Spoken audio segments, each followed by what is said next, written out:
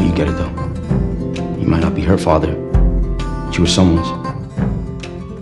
I used to hate the world, and I was happy when everyone died. You give a shit about me or not? Of course I do. Then what are you so afraid of? But I was wrong, because there was one person worth saving. Do you trust me?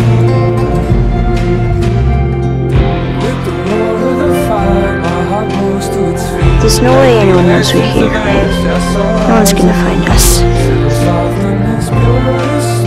No one's gonna find us. So don't tell me that I'd be safe with somebody else because the truth is, I would just be more scared. I could wish I was